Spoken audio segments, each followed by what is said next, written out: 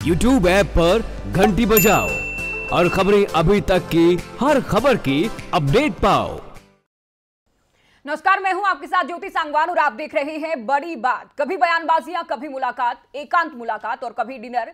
साथ ही सरकार के विधायकों का सदन में सरकार के खिलाफ ही आवाज़ उठाना कई बार लगा कि सरकार के भीतर सब कुछ तो ठीक नहीं है। ऐसे में खबरें ये सामने आ रही है कि हरियाणा कैबिनेट में चुनाव से पहले फेरबदल किया जाना संभव है।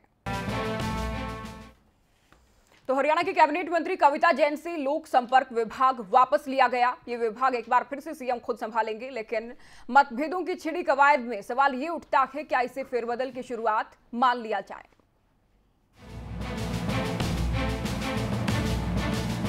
चुनाव करीब हैं, सब पार्टियों की तैयारी भी जोरों पर है। विपक्षी पार्टियाँ जहाँ मुद्दों को हथियार बना सरकार पर हमलावर हैं, सरकार भी अपनी उपलब्धियों की फहरिस्त को जनता को बताने, समझाने में जुटी है।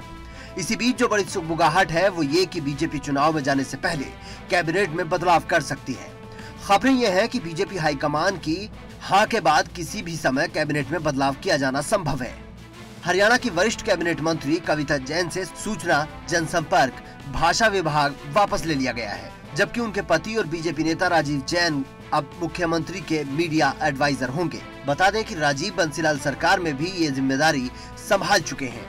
सूचना, जनसंपर्क और भाषा विभाग अब फिर से मुख्यमंत्री मनोहर लाल के पास रहेगा इसके साथ जल्द ही मनोहर कैबिनेट में फेरबदल और मंत्रियों के विभागों में बदलाव की संभावनाएँ भी तेज हो गई हैं। इसकी अटकलें पिछले कुछ दिनों से काफ़ी तेज चल रही हैं। इससे पहले खबरें ये भी थीं कि बराला से अध्यक्ष पद की ज़िम्मेदारी ली जा सकती है खास बात तो ये है कि चुनाव के लिहाज से सरकार की तैयारियों का एक बड़ा दांव होगा उसके अलावा भी कभी विधायकों की नाराज़गी खुलकर सामने आना, कभी खुद सरकार के विधायकों का विकास कार्यों को लेकर सवाल खड़ी करना। कभी सीएम से शिकायतों की सुगबुगाहट तेज रही। ये फेरबदल की नींव इन शिकायतों और मतभेदों को दबाने की तर्ज पर भी रखी जा सकती है। खबरें तो ये भी हैं कि सत्ता की शुरुआत के साथ ही बीजेपी के कई कद्दावर नेता, जो खुद को सीएम के दावेदार मानते भी रहे और उनके हलकों में वोट भी उनके कार्यकर्ताओं की ओर से सीएम पद का उम्मीदवार बताकर लिए गए। खबरें ये रही कि सीएम के नाम का ऐलान और कैबिनेट निर्माण के साथ शुरू हुई नाराज़गी बढ़ते सरकार के कार्यकाल के साथ साथ बढ़ती गई कभी सीएम पर मंत्रियों के विभागों में दखल के आरोप लगते रहे और हाल फ़िलहाल बीजेपी के राष्ट्रीय महामंत्री की संगठन से लेकर सरकार तक की गई बैठक के संकेत मिलते रहे कि सीएम की शिकायतें की गई हैं। इन सब बातों के बीच कैबिनेट मंत्री, हरियाणा सचिवालय में ओपी धनखड़ के कार्यालय में एकांत बैठक की गई और गुपचुप तरीके से चार बड़े मंत्रियों ने चर्चा की मंत्रियों और सरकार की ओर से सामान्य जितना उस बैठक को कहा और बताया गया, मुलाकात पर उतने ही सवाल उठते गए। उसी कड़ी में सीएम की ओर से डिनर आमंत्रित किया जाना और वरिष्ठ कैबिनेट मंत्री अनिल विज का डिनर से निकल जाना। इस दिशा में बढ़ते संदेह को और मजबूती देता गया कि सब कुछ तो ठीक नहीं है। वो बात अलग है कि सरकार की ओर से हर बार कुछ भी मतभेद होने से इनकार किया जाता रहा। विज साहब के ज़रूरी काम का हवाला भी दिया गया। खबर यह भी है कि वीरवार देर शाम हरियाणा कैबिनेट मंत्री रामविलास शर्मा के निवास पर स्वास्थ्य मंत्री अनिल विज, कृषि मंत्री ओपी धनखड़ पहुँचे और वरिष्ठ कैबिनेट मंत्रियों की चाय पर चर्चा दूसरी बार हुई। बंद कमरे में हुई ये चर्चा सियासी तौर पर काफ़ी खासी मानी जा सकती है। बैठक में क्या एजेंडा रहा? आधिकारिक रूप से कोई भी मंत्री इसकी पुष्टि नहीं कर रहा। तीन कद्दावर मंत्रियों की बैठक कई इशारे करती है। सूत्रों की माने तो हरियाणा सरकार के आंतरिक रूप से असंतुष्ट चल रहे मंत्रियों की बैठकों की बढ़ती फहरिस्त संकेत तो यही देती है कि सब कुछ ठीक नहीं है। ज़ाहिर है चुनाव करीब है, विपक्ष को टक्कर देकर सत्ता में वापसी की चुनौती के साथ साथ गाहे बगाहे दिखे मतभेदों को दूर करना भी कम मुश्किल नहीं होगा। अपनों को मनाना, मनाने की कवायद में कदम बढ़ाना भी हो सकता है। कोई फेर बदल भी हो सकता है। लेकिन बात सिर्फ़ मंत्रियों तक होती तो भी कुछ न था। मंत्रियों से लेकर विधायकों विधायकों से लेकर कार्यकर्ताओं को मनाए और मनाए रखने की चुनौती सीएम और संगठन के सामने ज़रूर पेश आएगी। उसमें कहाँ कौन से स्तर पर कितने फेरबदल असरदार होंगे भी या नहीं, ये 2019 बेहतर बता पाएगा। चंडीगढ़ से कुमार रमेश के साथ ज्योति सांगवान की रिपोर्ट। तो राजीव जैन को बड़ी ज़िम्मेदारी दी गई है, सीएम के मीडिया एडवाइजर वो बनाए गए हैं। उसके बाद पहली बातचीत उनकी की गई, खबरें अभी तक के साथ उनकी एक खास बातचीत सुनिए मुख्यमंत्री ने नया मीडिया सलाहकार नियुक्त कर लिया है। नए मीडिया सलाहकार से बात करते हैं कि दरअसल की आगामी योजनाएँ क्या रहेगी क्योंकि आने वाला समय कहीं ना कहीं इलेक्शन पीरियड मोड में। सर लोकसभा चुनाव आ रहे हैं और भले ही लगभग साल का समय बचा हो आ, लेकिन मुख्यमंत्री जी ने आपको नया मीडिया प्रभार के तौर पर ज़िम्मेदारी दी है उनके मीडिया सलाहकार रहेंगे आप। तो क्या लगता है क्या नया करने जा रहे हैं इस बार? थोड़ा सा विस्तार से साझा करें। ये पार्टी के संगठन में जो है और सरकार में फेरबदल जो है निरंतर प्रक्रिया है। और मैं समझता हूँ कि मुख्यमंत्री जी ने जो ज़िम्मेदारी दी है, मैं पहले से भी दो बार जो है पार्टी का मीडिया इंचार्ज के तौर पे पार्टी का मीडिया का काम कर रहा हूँ। और कहीं ना कहीं जो है शायद मुख्यमंत्री जी को लगा हो कि भाई सरकार में लाकर जो है और बेहतर ढंग से काम किया जा सकता है। तो उन्होंने मुझे जो ज़िम्मेदारी दी है, निश्चित तौर पर जो है लोकसभा के चुनाव भी जो है एक साल बाद होने वाले हैं, उसके बाद विधानसभा के चुनाव होंगे।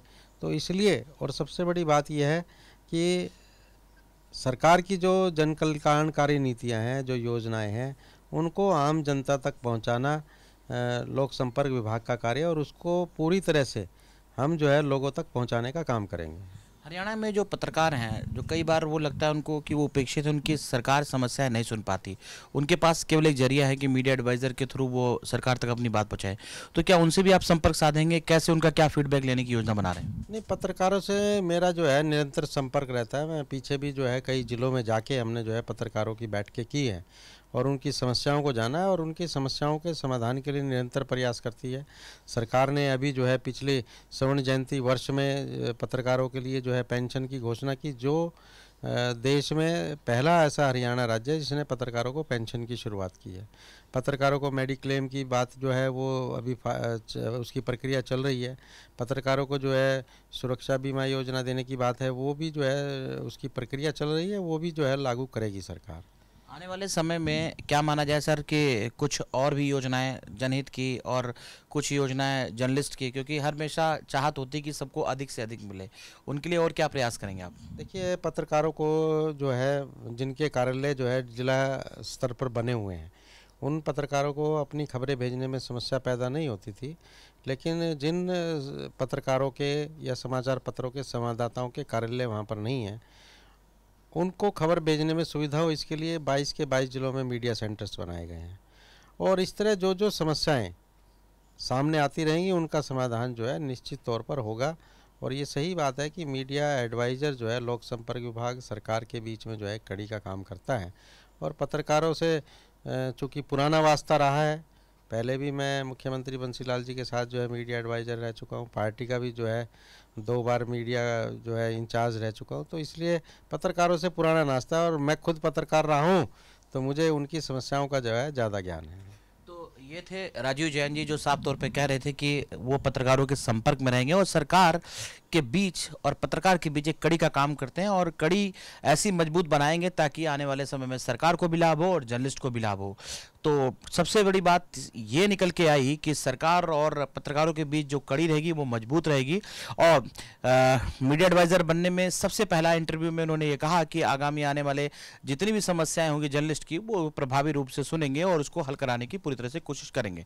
कैमरामैन जतिन के साथ कुमार रमेश, खबरें अभी तक चंडीगढ़।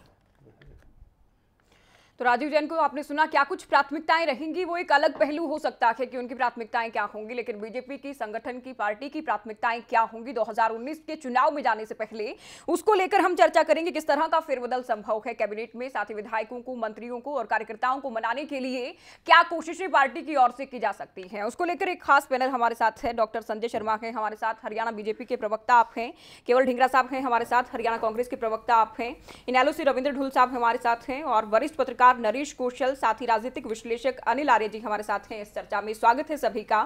संजय शर्मा जी क्या मानकर चला जाए? क्या फेरबदल संभव है कैबिनेट में? देखिए ज्योति ये तो मुख्यमंत्री का विशेषाधिकार है कि कब वो मंत्रिमंडल का फिर बदल करते हैं कब किसको क्या जिम्मेवारी देते हैं जो उनको जैसा लगता है वो उस तरह से करते हैं। लेकिन आप लोग ये चर्चा कर रहे हैं क्योंकि सरकार के लेवल पर या पार्टी के लेवल पर अभी तक इसी तरह की कोई चर्चा नहीं है। कि कोई मंत्रिमंडल में फेरबदल हो रहा है किसी को कुछ बनाया जा रहा है किसी को हटाया जा रहा है मैं भी अखबार पढ़ रहा हूँ टीवी चैनल्स देख रहा हूँ उस पर इस तरह की चर्चाएँ चल रही है और आपने भी इस विषय पर बहस रखी है तो मुझे लगता है कि ये विषय एक ऐसा है जो मुख्यमंत्री खुद तय करते हैं हम्म। उनको कब किसको लेना है कब किसको छोड़ना है उनको हम्म। कहाँ किसकी ज़रूरत है तो ये मुख्यमंत्री जी का विशेष अधिकार है वो जब चाहें वो कर सकते हैं लेकिन अभी इस तरह का कोई सरकार के लेवल पर या पार्टी के लेवल पर कोई निर्णय नहीं हुआ हम्म। जिस तरह से कल खबरें आई कि कैबिनेट मंत्री रामविलास शर्मा कैबिनेट मंत्री अनिल विज और ओपी धनखड़ एक बार फिर से मिले हैं हालाँकि पिछली बार चार मंत्री एक साथ मिले थे इस बार तीन मंत्री मिले हैं। तो खबरें ये हैं कि किसी तरह की नाराज़गी है किसी तरह के मतभेद हैं जिसके चलते ये एकांत बैठक बुलाई जा रही है। मतभेद कोई नहीं है ज्योति। लेकिन क्योंकि वरिष्ठ मंत्री हैं और मंत्री आपस में मित्र भी होते हैं और मंत्री एक दूसरे के विभागों से काम भी लेते हैं अपने विभागों की सलाह भी मांगते हैं और उनके विभाग की कोई उनको बात में ध्यान में आती है उस बारे में चर्चा कार्यकर्ताओं के बारे में भी चर्चा करते हैं। तो कुछ लोगों का आपस में बैठकर मिल बैठकर बात करना चाय पीना मुझे लगता है इसको अदरवाइज़ नहीं लेना चाहिए। क्योंकि खुद मंत्रियों ने भी ये बात कही है कि ऐसी कोई बात नहीं है आप इसके अलग मायने निकाल रहे हैं वो आपको निकालने का अधिकार भी है। आप पत्रकार हैं आप धनखड़ साहब मीडिया लोग से कहा गया कि अभी बताने योग्य कुछ नहीं है हाँ ऐसा कुछ नहीं तो ना। बता दिया जाएगा। बिल्कुल अगर ऐसा कोई होगा तो सबके सामने आएगा। मंत्रियों का मिलना मुझे लगता है कि कोई ऐसा कुछ बात नहीं है कि जिसके बारे में इतनी चर्चा की जाए। मंत्री मिलते रहते केवल हैं। ढींगरा साहब क्या लगता है कि वरिष्ठ मंत्रियों में किसी तरह की नाराज़गी है सीएम से? नहीं देखिए मंत्रियों में नहीं एमएलए में भी दिखने में पहले सुन, सुनने में आया था कि 18 एमएलए जो मुखर होके टीवी के सामने आए थे। जी। उन्होंने भी अपनी बात रखी थी कि हमारे काम नहीं हो रहे हमारे इलाकों पे कोई काम नहीं हो रहा कोई अफसर हमें कॉपरेट नहीं कर रहा। इस तरीके से जब से सरकार बनी है तभी से ये चलता आ रहा है। और जो पिछले दिनों चार मंत्री इकट्ठे हुए थे और चाय पे चर्चा की थी उसके ऊपर भी कई सुखबुगाहट थी कि ये हाँ। काम नहीं हो पा रहे और किस तरीके से चलेगा। अभी तीन मंत्रियों ने अब जो चाय पे चर्चा की है तो ये अंदर अंदर तो बात जो है भाजपा के अंदर कुछ ठीक नहीं चल रहा। लेकिन ये तो बात अपनी कहेंगे क्योंकि इनका बात है कहना। और बीजेपी जो है वो बड़ी झूठी पार्टी है बीजेपी उसका नाम ही वही है। और ये बात कुछ करेंगे होगा कुछ असल में। एक्चुअल में आप ये देखिए कि जिस तरह से अभी ये कविता जैन जी का वो विभाग उनसे लिया और जी। राजीव जैन जी को दिया ये भी एक उसका एक ज़रूर जो है एक पहलू से होगा कि किस तरह से काम चलाया जाए किस तरह से अब चार साल में कुछ कर नहीं पाए अब अगला जो चुनावी ईयर्स आ गया उसमें अब क्या सिस्टम किया जाए कैसी कार्रवाई की जाए क्योंकि ये अंदर अंदर सुखबुघाट तो सारे है और ये सुखबुघाट दिख भी रही है सब लोगों को इसीलिए चर्चा होती है। रविंद्र ढुल साहब आप कैसे देखते हैं? क्या कैबिनेट में किसी तरह का बदलाव कर सकती है बीजेपी की? काम नहीं हुए या फिर मंत्रियों की ओर से कहा गया कि दखल सीएम देते हैं या बाकी किसी तरह की नाराज़गी? ये कुछ नहीं अपनी कैबिनेट में बदलाव करके सिस्टम में बदलाव करके लोगों को ये संदेश देने का प्रयास करेंगे कि हम बेहतर प्रशासन देने का प्रयास कर रहे हैं। इसके अलावा और कुछ नहीं है। सरकार इनसे चल नहीं रही बहुत सारे मंत्रालयों में समस्या है। एक दूसरे के खिलाफ जो है मंत्री ताने खड़े हैं तलवारें अभिमन्यु जी की अनिल विज जी की आपसी रा- राजनीति और इनकी आपस की नाराज़गी सबको जग ज़ाहिर है। ऐसे ही सभी मंत्रियों के साथ में कोई मंत्री बनना चाहता है अध्यक्ष नहीं रहना चाहता कोई अध्यक्ष बनना चाहता है मंत्री नहीं रहना चाहता इस तरह की चीज़ें बहुत सारी चल रही हैं यहाँ पर। तो इनका एक रूटीन का रिशफल है उसको ये जान करके बढ़ावा देना चाहते हैं ताकि लोगों में ये संदेश दें कि हम बेहतर प्रशासन के लिए। मेरे हिसाब से केवल और केवल पब्लिक मनी की वेस्टेज के अलावा और कुछ नहीं कर रहे हैं हम्म, संजय शर्मा जी देखिए मेरे मित्र दोनों कांग्रेस के और इनेलो के प्रवक्ता मुझे लगता है कि जैसे कहते हैं ना बिल्ली के भाग्य को छीका टूटे कोई ऐसा मुद्दा ढूँढने का प्रयास कर रहे हैं। देखो हम सब लोग राजनीति में हैं। जो मंत्री बने हैं वो भी राजनीति में जो अध्यक्ष बने हैं या कोई पदाधिकारी वो भी राजनीति में है। और राजनीति में हर व्यक्ति की महत्वाकांक्षाएँ रहती है। इसमें कोई अतिशयोक्ति नहीं है कोई गलत बात नहीं है।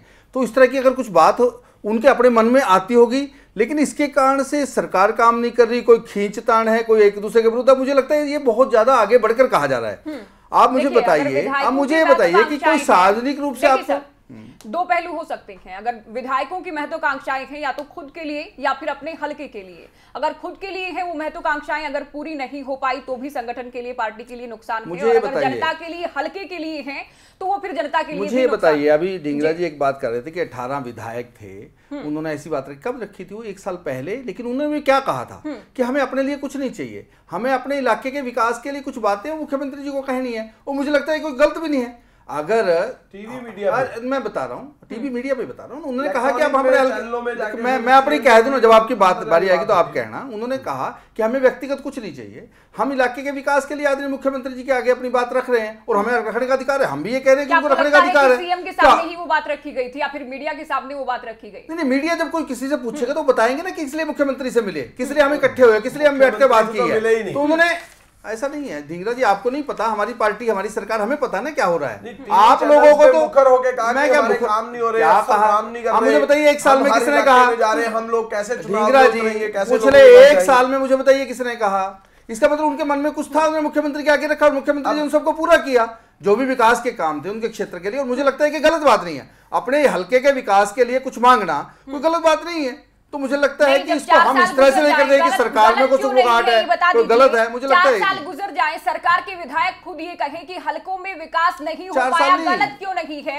करीब करीब चार साल आप अक्टूबर में चार साल पूरे कर लेंगे। नहीं, एक साल पुरानी बात कह रहा हूँ मैं।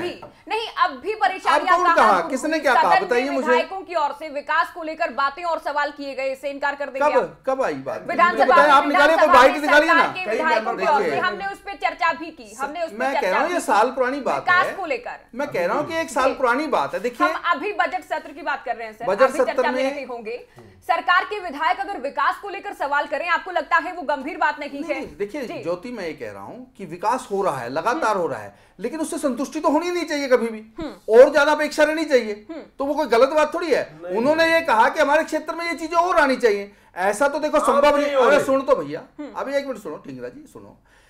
किसी ने ये तो नहीं कहा कि हमारे इलाके में विकास हुआ? उन्होंने उन्होंने अपने हो। भाषण सुन तो लो कालका की विधायक ने कहा सीमा हूँ, त्रिखा ने कहा आप सुन लीजिए ना असीम जैन ने कहा सभी ने तो कहा। असीम जैन को विधायक नहीं है असीम गोयल। असीम गोयल।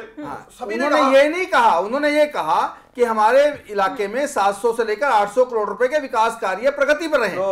उन्होंने ये कहा आप निकाल लीजिए। भैया रिकॉर्ड ऑन रिकॉर्ड है तो विधानसभा के पटल पे है तो बात उनके रिकॉर्ड में निकाल लीजिए। नहीं सुनते कार्यकर्ता कहते हैं अधिकारी नहीं सुनते विधायक भी कहते हैं कि अधिकारी नहीं सुनते खुद मंत्री कहते हैं। हालाँकि खबरें हैं ये इसकी पुष्टि हम नहीं करते कि सीएम दखल खबरें हैं आप पुष्टि नहीं करें तो आप कैसे कह रहे हो? बिना आग के धुआँ नहीं उठेगा इतना मानेंगे। मैं देखिए ज्योति मैं ये पहले भी कह चुका हूँ कि राजनीतिक क्षेत्र में जो व्यक्ति होता है वो अपनी वर्तमान स्थिति से कभी संतुष्ट नहीं होता और वो चाहता है इससे ज़्यादा हो।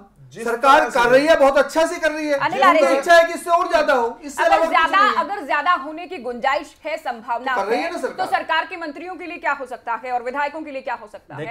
देखिए जी। ये तो जो है इक्यानवे में संशोधन में दो इसमें 2003 में तय कर दिया गया था संसद ने कि 15 परसेंट से ज़्यादा मंत्री नहीं बन सकते। विभाग तय करना मुख्यमंत्री जी का विशेषाधिकार होता है कि वो किस मंत्री को कौन सा विभाग देते हैं। लेकिन जो मुख्यमंत्री जी की छवि मुझे नज़र आती है फ़िलहाल जो इन्होंने बना रखी है वो लगती है बिल्कुल डाकिए जैसी है। कि नीचे की बातें ऊपर पहुँचा देते हैं दिल्ली या नागपुर में और ऊपर की जो बातें आती है उनको नीचे इंप्लीमेंट कर देते हैं। मुझे तो लगता नहीं कि कोई जो ये शोर यहाँ मचा रहे हैं विधायक या मंत्री इनसे मुख्यमंत्री के ऊपर कोई फ़र्क पड़ने वाला है। अगर कोई ऊपर से आदेश आएगा तो वो ठीक है इंप्लीमेंट हो सकता है। जहाँ तक आज की फेरबदल की बात है वो राजीव जैन जी की नियुक्ति हुई है और अमित आर्य जी को दिल्ली भेजा गया है। ये अच्छा कदम है चुनावी मोड में अब सरकार आ गई है और अगले साल सरकार चुनाव हो सकते हैं। तो अमित आर्य जी की जो पृष्ठभूमि है वो पहले उनका जन्म फरीदाबाद में होता है। उनकी सारी एजुकेशन शिमला की है और उनकी जो वर्क क्षेत्र है का- कार्य जो है वो दिल्ली का है। तो चंडीगढ़ की मीडिया का उन्हें बहुत ज़्यादा अनुभव नहीं था। तो उसके विपरीत जो है राजीव जैन जी पहले पार्टी के प्रभारी थे आज वो सलाहकार लग गए हैं मुख्यमंत्री जी के। तो राजनीतिक पोस्ट है ये ये अच्छी। तरीके से इंटरटेन कर पाएँगे और पहले भी काम देखते रहे हैं। तो ये तो एक सामान्य प्रक्रिया है और पति पत्नी एक ही विभाग में रहे क्योंकि दोनों का काम ही जो है वो सरकार की अच्छी उपलब्धियों को जनता तक पहुँचाने का होता है। तो एक ही विभाग इसलिए चेंज किया गया है। फ़िलहाल ऐसी कोई संभावना नहीं अगर कोई संभावना हो भी तो वो ऊपर से ही होगी उससे कम मुख्यमंत्री जी किसी का खबर ये भी है कि बीजेपी हाईकमान ने मंजूरी दे दी है कि आप फिर बदल कर सकते हैं। जिस दिन मंजूरी मिल जाएगी उस दिन तो एप्लीमेंट हो ही जाएगा। उस दिन कोई ऐसी बात नहीं है। मुख्यमंत्री जी का विशेषाधिकार है कि किस को मंत्री बनाते हैं और किसके कौन सा विभाग देते हैं। इसमें किसी और का कोई इंटरफेयर नहीं है। जी। नरेश कौशल जी क्या लगता है आपको किसी तरह के मतभेद हैं विधायकों मंत्रियों या फिर सरकार या संगठन में? देखिए ज्योति जी मैं इसको क्रिकेट की जो मैच होता है उससे तुलना करना चाहता हूँ कि जब परीक्षा की घड़ी होती है जब अंतिम दौर होता है मैच के तो खिलाड़ियों को बहुत ज़्यादा फेरबदल नहीं किया जाता। जी। और मेरा अपना अनुमान है कि हो सकता है सुभाष बराला हैं जो उनको कैबिनेट में ले लाया जाए। जी। उसके कुछ फ़ायदे मायने हो सकते हैं हाँ। ये लंबी बहस की बात है। या इसके अलावा नायब सिंह सैनी हैं उनको भी ऐसा किया जा सकता है। बहुत ज़्यादा फेरबदल हो सकता है ये एक अच्छे कप्तान एक अच्छे कोच की निशानी नहीं होती। एक बात तो ये है। बिल्कुल। दूसरी बात चीफ मिनिस्टर को मैं एक साधुवाद देना चाहता हूँ कि आज से चार साल पहले का अगर हम परिदृश्य देखें हाँ। तो ऐसा लगता था कि उनको जैसे कोई रंगरूट होता है उनको साथ में दो आदमी बैठते थे जब वो बात करते थे प्रेस से भी बात करते थे। लेकिन अब हम देखते हैं उनको सोशल मीडिया पे भी बात करते हुए देखते हैं और ऐसा लगता है कि उनमें बहुत कुछ आत्मविश्वास जागृत हुआ है। भले ही मंत्रियों में कुछ ना कुछ नाराज़गी हो और उसका कारण हाँ। मुख्यमंत्री कम है अधिकारी ज़्यादा है। जहाँ तक रही बात कि अब लास्ट मोड जो इलेक्शन मोड है उस वक्त क्या चेंजेस होनी चाहिए? जैसे मीडिया एडवाइजर की बात है हर पार्टी का होता है। जैसे क्रिकेट की मैंने बात की है कि ये इस वक्त बॉलर्स की ज़रूरत है ज़्यादा अच्छे की तो मीडिया के बंदे की ज़्यादा अच्छी ज़रूरत है। कहाँ किस एंड पे? जैसे कि अभी हमारे साथी अनिल आर्य ने बोला है बिल्कुल सही बात है। ये पहले से ही अगर ऐसा होता तो ज़्यादा बेटर था। क्योंकि जो राजीव जैन हैं ये हमारे जैसे जो पुराने लोग हैं उनके साथ ये पत्रकार रहे हैं। ये अखबारों के लिए खबरें देते रहे हैं। और ये इन्हीं का अनुभव है और इन्हीं की ही दिमाग की जो है उसकी इम्प्लीमेंटेशन है कि जो ये पेंशन की स्कीम पत्रकारों के लिए लेकर आए हैं। ये बड़ी पॉजिटिव बातें जो पत्रकारों के साथ जुड़ने की ये कर रहे हैं ये बहुत अच्छी बात है। जहाँ तक बात है अ, फेर बदल या दूसरी बातों की लास्ट ईयर्स जब आता है एंटी इनकम्बेंसी को भी देखा जाता है या जींद में मोटरसाइकिलों की रैली में क्या कहा गया था क्या वहाँ पे धरातल पर नज़र आया है? उन चीज़ों को जब आकलन करते हैं तो थोड़ा बहुत फेरबदल होता है लेकिन मैं इसको बहुत बड़ा इस बात से ऐसा मैं कि सीएम में हुआ नहीं है। से आत्मविश्वास आया है तो उसके पीछे ब्यूरोक्रेसी हो सकती है। हालाँकि बातें ये रखी कि बेलगाम रखी ब्यूरोक्रेसी ज्योति जी ब्यूरोक्रेसी तो बेलगाम ही रहती है। ये तो एक भरी गन की तरह है जब तक आप ट्राइगर नहीं दबाएँगे नहीं चलेगी ये मुख्यमंत्री जी को तय करना होता है कि किस अधिकारी को किस डिपार्टमेंट में लगाना और उसको किस तरह से काम लेना है। मैं कौशल साहब की एक बात को थोड़ा सा चेंज करना चाहूँगा थोड़ा सा। इन्होंने दो नाम लिए हैं सुभाष बराड़ा नायब सैनी। मैं एक तीसरा नाम और जोड़ना चाहता हूँ रामविलास अ, शर्मा जी चेंज नहीं किया आपने ऐड किया है। हाँ ऐड किया है थोड़ा सा चेंज भी है सर। चेंज ये है कि सुभाष बराड़ा जी को मुझे लगता नहीं कि वो कैबिनेट में ले पाएँगे क्योंकि मुख्यमंत्री जी दो बड़े ही हैवी वेट जाट नेता हैं। एक कैप्टन अभिमन्यु जी हैं एक धनखड़ साहब हैं। दोनों को जब कंट्रोल करना होता है तो वो सुभाष बराड़ा को यूटिलाइज करते हैं उनको बैलेंस करने के लिए। इसमें नायब सैनिक जी का मौका लग सकता है कैबिनेट में आने का अभी भी वो राज्य मंत्री हैं। और दूसरे रामविलास शर्मा जी जो शुरुआत में तो बड़े करीबी थे मुख्यमंत्री जी के लेकिन पिछले लगभग दो तीन साल से वो हाशिए पर हैं और उनके कई डिपार्टमेंट भी लिए गए हैं। हाँ। मुझे लगता है कि उनको शायद विधानसभा अध्यक्ष या कुछ और चेंज किया जा सकता है और उनकी जगह कि, किसी और गैर जाट नेता को मंत्रिमंडल में लिया जा सकता है। संजय शर्मा जी लगता है आपको कि रामविलास शर्मा का कद घटाया जा सकता है या किसी तरह का बदलाव किया जा सकता है? देखिए मीडिया को और पत्रकारों को कयास लाने का लगाने का अधिकार है वो लगाएँ। लेकिन जैसे मैंने शुरू में कहा कि ऐसा सरकार लेवल पे या पार्टी लेवल पर कोई चर्चा नहीं ऐसा कोई निर्णय नहीं है। लेकिन फिर वही बात मैं कहूँगा कि मुख्यमंत्री को जब ज़रूरत होती है वो मंत्रिमंडल में फेरबदल करते हैं। जो जो व्यक्ति जहाँ उनको उचित लगता है आज उन्होंने राजीव जैन जी को अपना मीडिया सलाहकार नियुक्त किया है तो उनको ज़रूरत लगी होगी कि राजीव जैन जी की मुझे ज़रूरत है। उन्होंने उनको लिया और राजीव जैन जी का जैसे अभी दोनों हमारे अनिल आर्य जी ने और नरेश कौशल जी ने बात कही कि वो अच्छा काम कर रहे थे तो उनके काम का इनाम उनको दिया और उनका और उपयोग वो करना चाहते हैं। मंत्री रामविलास शर्मा के निवास पर जिस तरह से चाय पर चर्चा की जाती है क्या लगता है सीएम के लिए ज़रूरी हो जाएगा या ज़रूरत हो जाएगी? इस तरह की बैठकों के बाद। ढिंगरा साहब।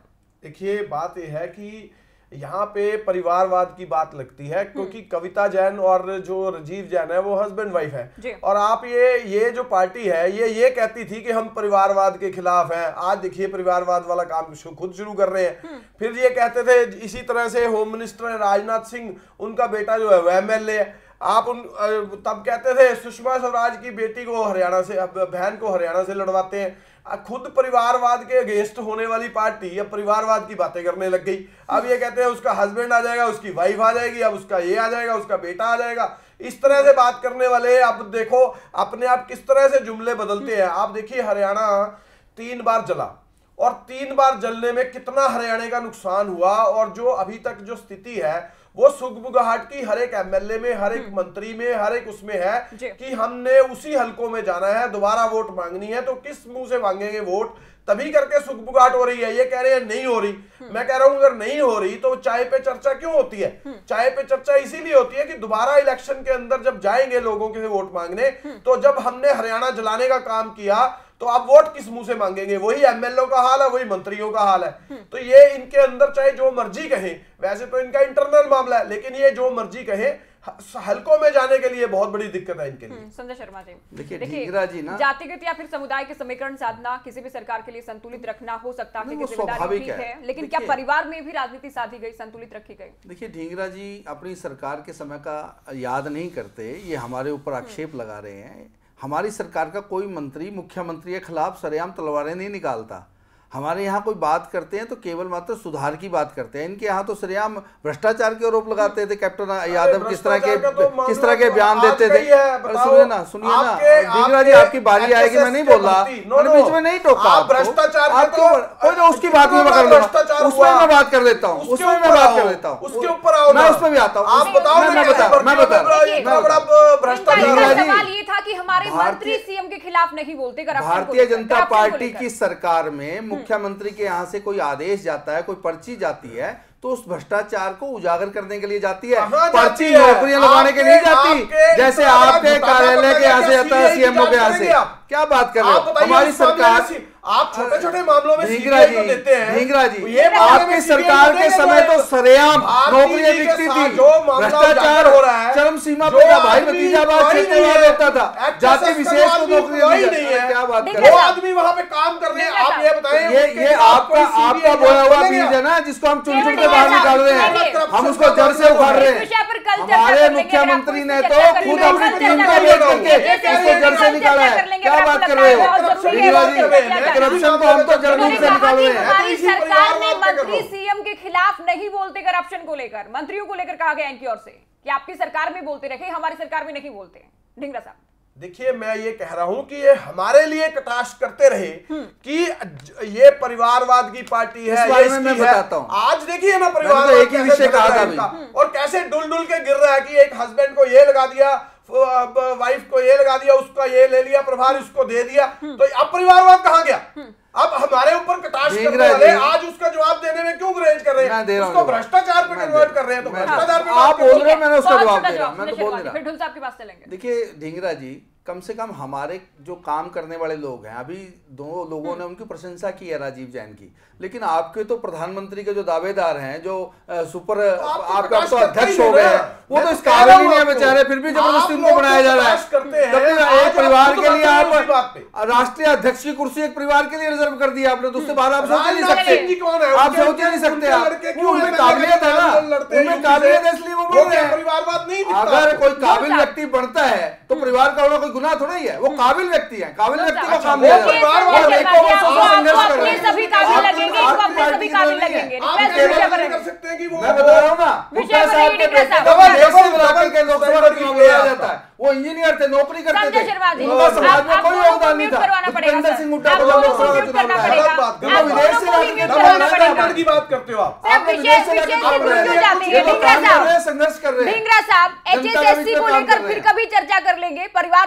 आतंकवाद को लेकर भी फिर कभी चर्चा कर लेंगे। जिस विषय पर बैठे हैं, कम से कम उसके साथ इंसाफ करें ब्रेक के लिए रुकते हैं। फॉरन लौटे के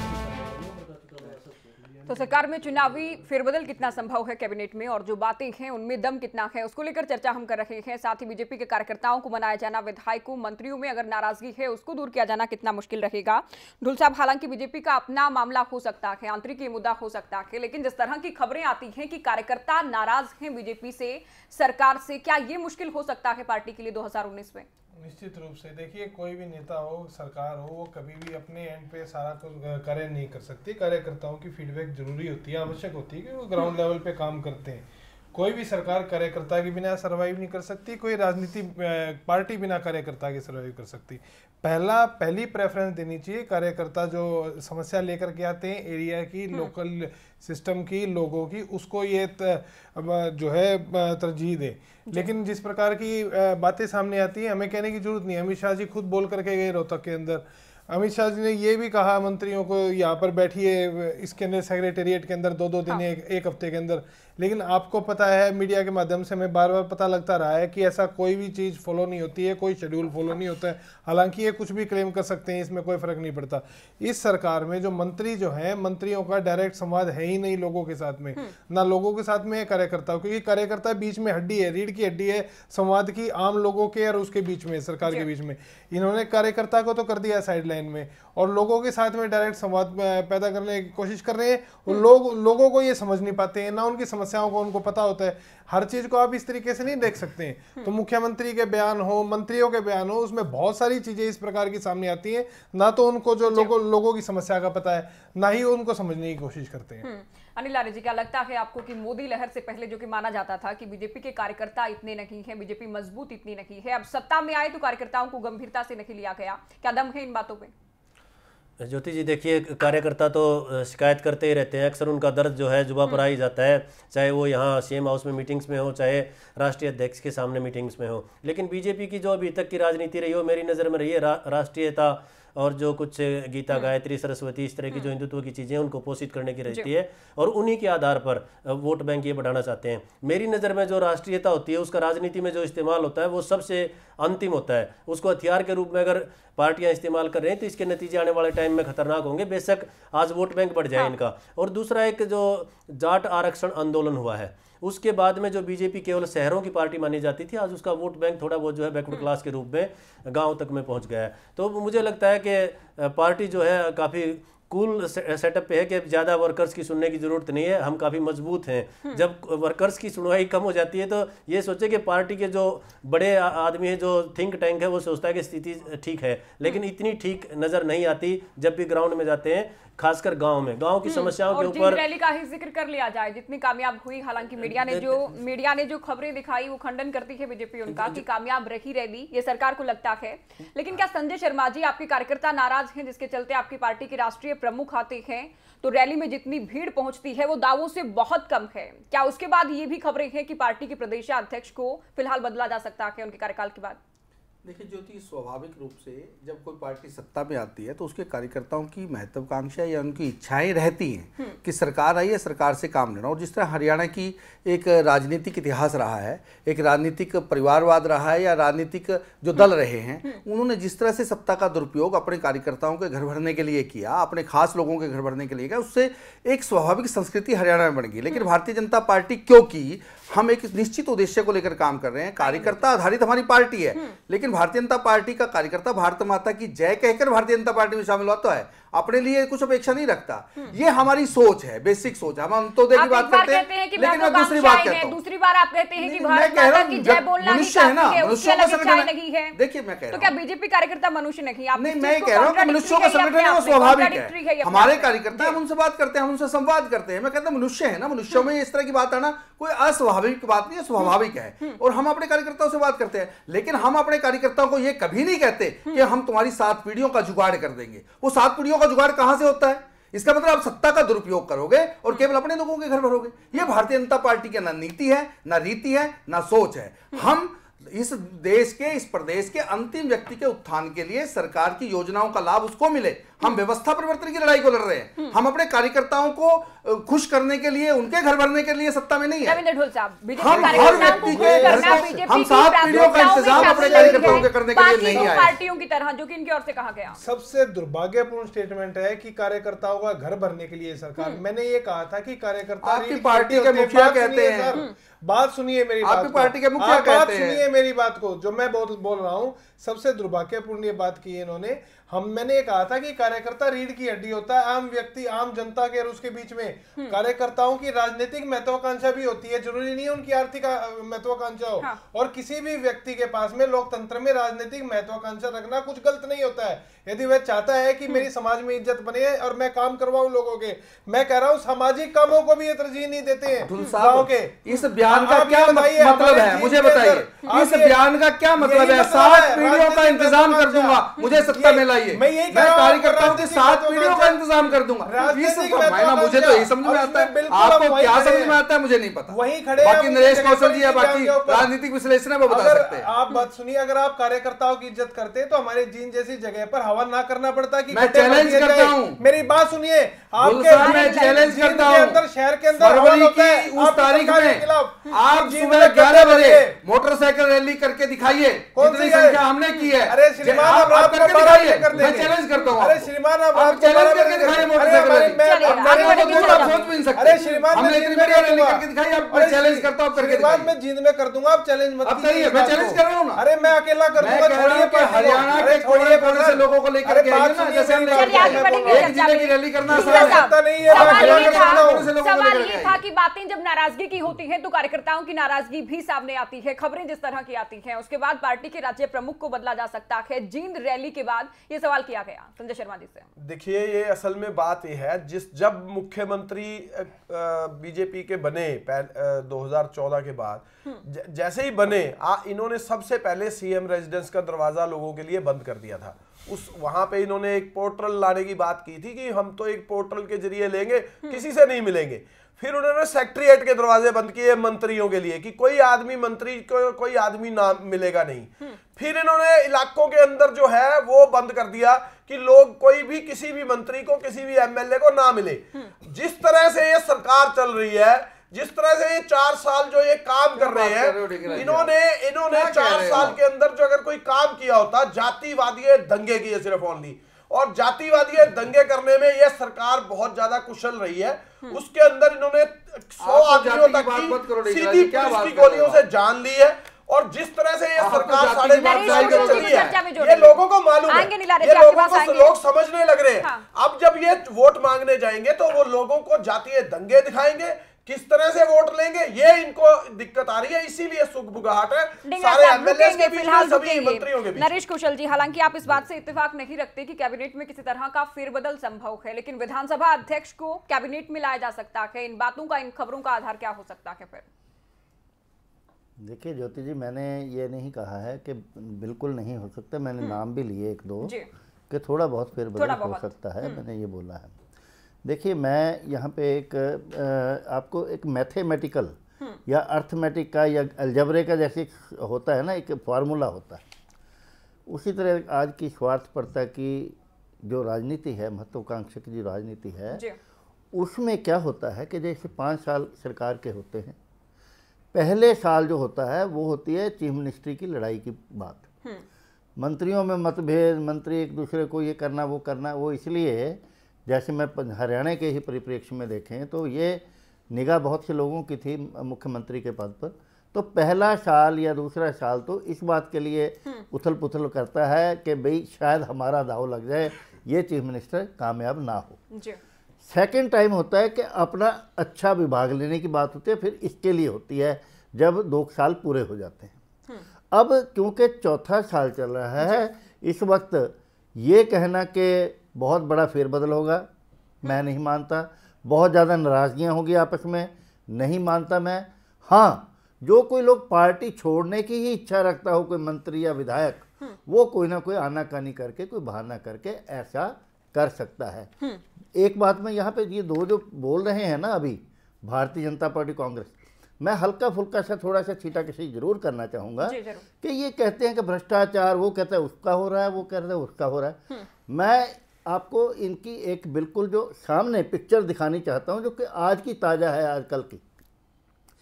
रोहतक में ज़मीन के अधिग्रहण का जो मामला है जिसकी के सीबीआई की ऑर्डर कर दिए चीफ मिनिस्टर ने। अब वो चीफ मिनिस्टर ने वो वापस ले लिया ऑर्डर और अब न्यायिक प्रक्रिया शुरू कर दी बैठा दिया वो मैदान साहब को बना दिया। क्या है इसका मतलब? क्या ऐसा तो नहीं? कि एक पार्टी ने दूसरे पार्टी को oblige कर दिया है। तो मैं मैं देखिए मैं अपना मेरा अपना आकलन है अपनी अनुमान है जो आप मीडिया में भी देख सकते हैं।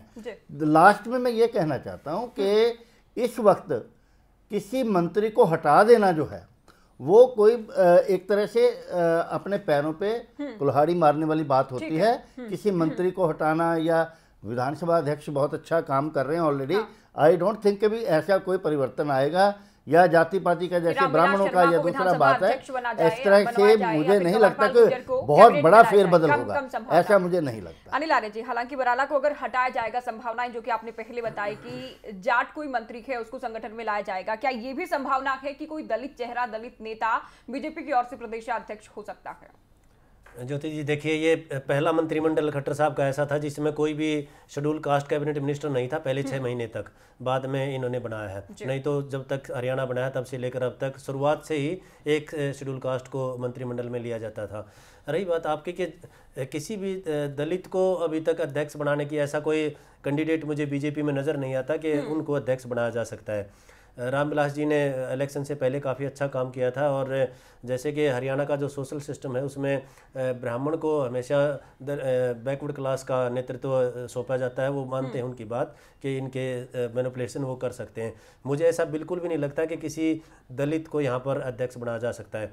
अध्यक्ष बनाने के लिए लगभग जो है 28 परसेंट के आसपास जाट वोट हैं मुझे लगता है कि अध्यक्ष तो किसी जाट को ही रखेंगे अगर बराड़ा को भी बाहर अंदर लेके आते हैं तो हम्म। मुझे लगता है कि उसके लिए सबसे उपयुक्त अध्यक्ष के लिए ओम प्रकाश धनखड़ जी हैं हम्म। वो वहाँ जा सकते हैं पर ऐसा कोई चेंज जैसा कौशल साहब ने बताया हम्म। मैं भी इनकी बात से सहमत हूँ कि ऐसा कोई बड़ा चेंज हो नहीं सकता लेकिन हाँ। एक चेंज अभी तक के इतिहास में रहा है एटी सिक्स सेवन में भजन लाल जी को हटाकर यहाँ बंसी लाल जी को मुख्यमंत्री हाँ। बनाया गया था बिल्कुल इलेक्शन के टाइम में। लेकिन उस टाइम परिस्थितियाँ कुछ और थी।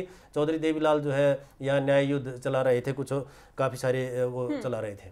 जी। चलिए आगे बढ़ेंगे चर्चा में। संजय शर्मा जी, क्या ये उन चीज़ों के बाद की सुबुगाहट है कि कैलाश विजयवर्गीय जब आए, सीएम की शिकायतें की गई, मंत्रियों की ओर से, संगठन की ओर से, और उसके बाद जिस तरह से एकांत बैठक हुई, उसके बाद डिनर बुलाया गया। आज कविता जैन का जो एक विभाग है, वो खुद सीएम ने एक बार फिर से लिया वापस। देखिए, कैलाश विजयवर्गीय जी जो रूटीन में महामंत्री का प्रवास होता है, तीन महीने बाद हमारे हर प्रदेश में वो जाते हैं। तो उसी नाते हरियाणा में वो आए थे। और वो क्योंकि वो बहुत एक्सपीरियंसड हैं पीडब्ल्यूडी मिनिस्टर रहे हैं मुख्यमंत्री के मटेरियल हैं वो हम्म। मध्य प्रदेश में उन्होंने अपने तजर्बे के आधार पर जो बातें सामने आई आप ये मत किए कि, कि मुख्यमंत्री की किसी ने शिकायत की। देखिए शिकायत किसी ने नहीं की लेकिन सुझाव हमेशा रहता है पॉजिटिव सुझाव रहता है। हर व्यक्ति ने कहा कि हमारी सरकार बहुत अच्छे काम कर रही है। मैं भी इस बैठक में था। बेहतर कैसे करे? ये सुझाव दिया गया। हाँ ये कहते हैं और हाँ। बेहतर कैसे हो सकता देखो एक व्यक्ति नहीं सोच सकता। हम्म। एक टीम होती है जो सोचती है। हम भी उस टीम के हिस्से हैं। हम सब लोगों ने सुझाव दिए अच्छे सुझाव सबके आए। हम्म। मंत्रियों के भी आए पदाधिकारियों के आए। और उस सुझाव के आधार पर आदरणीय कैलाश विजय वर्गीय जी ने कुछ पॉइंट निकाले कि ये काम और किए जाए तो और बेहतरी की ओर हम जा सकते हैं। हम्म। तो मुझे लगता है कि सुधार की हमेशा गुंजाइश रहती है। उसी के आधार पर आदरणीय मुख्यमंत्री जी और पार्टी के प्रदेश अध्यक्ष सुभाष बराड़ा जी उन चीज़ों को आगे लागू कर रहे हैं। इसीलिए प्रवास करते हैं महामंत्री। हमने सुना शिकायत के तौर पर उनको बीजेपी को लगता है कि वो सुझाव दिए गए कि सीएम और बेहतर कैसे करें। देखिए ये सरकार फेलियर सरकार रही साढ़े तीन साल। हम्म। अब ये चाहे जिस मर्ज़ी का वो करें आप कैलाश विजय वर्गीय की ये बात करते हैं। सुषमा स्वराज कैलाश विजय वर्गीय और अमित शाह जी जब आए थे 2014 में तो राम रहीम जी के पास गए थे और उनसे वोट मांगने के लिए लिखित में फरमान के लिए की थी। और उनको धमकाया भी था अगर अगर आप नहीं करेंगे तो आपके साथ ये बनेगी। जिगरा जी आपके मुँह से कई तरह की बातें नहीं है। अभी अभी अभी राम रहीम जिसका नाम कर रहे हैं। मैं तो उसको पैदा करने वाला कौन है? आपका इंटरनल किसने सीबीआई में नहीं जाने दिया केस को? किसने कोर्ट में उसकी मदद की? किसने 10 साल तक को इसको लटकाए रखा? क्या बातें कर रहे हो आप? हमने उस केस को सिरे है। ढींगरा जी आपने तो कुछ भी नहीं किया। अगर कुछ हमने उस केस को परिणति तक पहुँचाया। तो आप सारे हरियाणा के लोग हैं सब समझ लेंगे कि इस सरकार ने क्या खोया क्या पाया। इतनी करप्शन इस सरकार के अंदर हुई इतने मामले इस तो दीजिए ना। हुए। अगर हम प्रमाण तो लेकर आए ढींगरा जी मैं चैलेंज करता हूँ आपको। गिनते रहे।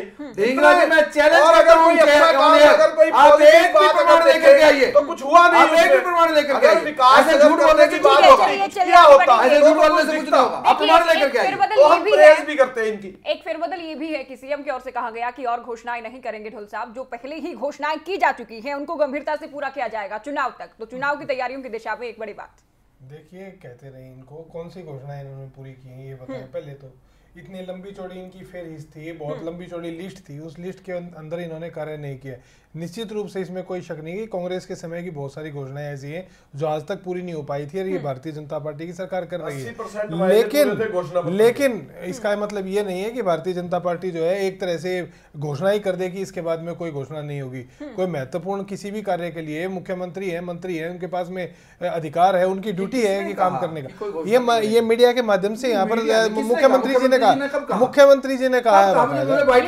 है बैठक हुई बैठक के अंदर कहा बाद गया ये देखिए ये पार्टी गलत गलत इन्फॉर्मेशन मत दीजिए पार्टी गलत। इन्फॉर्मेशन मत क्या कीजिए बात आप। कर रहे सीएम की अध्यक्षता में बैठक हुई। सीएम की हूँ, अध्यक्षता में बैठक के बाद में कहा गया था हमारे पास बाइक भी है लेकिन समय लग जाएगा हूँ, उसको मैं समय लग जाएगा। नहीं, नहीं, मैं बता रहा हूँ उन्होंने क्या कहा और कब कहा मैं बताता हूँ। किया जाएगा। नहीं, ज्योति से देखिए उनके एक साल पुराने बयान को आप आज कर रहे हो। एक साल पहले हैं? कहा सोच के पिछले आए हैं, हफ़्ते, पिछले सप्ताह का बयान। बता देंगे आज आप सोच के आए हैं ये। देखिए ज्योति उन्होंने एक साल पहले कहा था कि मैंने जो घोषणाएँ कर दी हैं इन घोषणाओं को इम्प्लीमेंट अब हम करवा रहे हैं। उन्होंने एक साल पहले कहा था अभी तो उन्होंने बैठ के हाल फ़िलहाल की बात है। डेवलपमेंट के काम मांगे हम कई बार पूरे सुना चुके देश से डेवलपमेंट काम मांगे गलत। दे रहे हैं, गलत कहा गया कि घोषणाएँ जो हो चुकी है बैठक में चर्चा की गलत ये बात दे रहे हैं।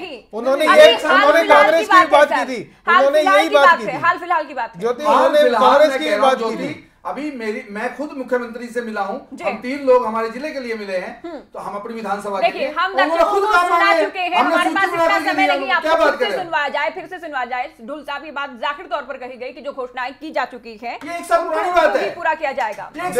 आपने निश्चित रूप से दोनों कहा। बातें आपको विधायकों की नाराज़गी है। हमें अभी समय लग जाएगा। हम दर्शकों को बहुत बार सुना चुके हैं। अब एक चर्चा हम आपको व्यक्तिगत तौर पे सुनाएँगे। हम आपको डिबेट के बाद व्यक्तिगत ज़रूरत है, खबरें अभी तक के सभी दर्शकों खबरें अभी तक के सभी। बिल्कुल बिल्कुल हमने इस खबर को हमने इस खबर को दिखाया पिछले एक साल के पहले ओर से कहा गया। बीच में उन्होंने कब कहा संजय शर्मा जी अच्छी बात करते हैं। आप। आपको सारी चीज़ें एक साल पुरानी लगती है आपको सब चीज़ें एक साल पुरानी लगती है। हम एक साल के अंदर करने पहले उन्होंने बात कही, नहीं आपने कही है। की दरकार है इस पर। कौशल साहब आखिरी कमेंट कीजिए। मैं सिर्फ़ दो सेंटेंस में। कमेंट करूँगा कि देखिए मैं आज की जो परिस्थिति जो आज डेवलपमेंट जो हुई है जैसे कि एक इम्प्रेशन है जी। और थोड़ा बहुत आप लोग भी समझते होंगे मीडिया के लोग कि सेंटर के अंदर मीडिया के ऊपर किस तरह के दबाव किस तरह की बातें चल रही हैं किस तरह का प्रभाव चल रहा है वो सबके सामने है केंद्र के सरकार के मैं संदर्भ में बात कर रहा हूँ। जी। वो मोर्चा तो एक तरह से उनके हिसाब से सत्ताधारी पार्टी के हिसाब से वो मोर्चा तो फतेह है। मीडिया तकरीबन कंट्रोल में है ठीक है। जैसे उनके लोग कहते हैं। अब प्रादेशिक स्तर पर मीडिया को अपनी ओर मैं ये नहीं कहता खरीदने के लिए सद्भावनापूर्ण तरीके से अपने साथ जोड़ने के लिए ये बहुत अच्छा स्टेप जो है राजीव जैन को लाया गया। चलिए शुक्रिया सभी का इस चर्चा में बने रहने के लिए। तो चर्चा ये की कि चुनावी फेरबदल अगर बीजेपी करती है तो किस तरह का किया जाएगा? उसमें विकास की बात कर ली जाए कार्यकर्ताओं विधायकों से लेकर मंत्रियों और कैबिनेट की बात कर ली जाए किस तरह का फेरबदल संभव है? जो खबरें हैं मीडिया में उनमें कितना दम है?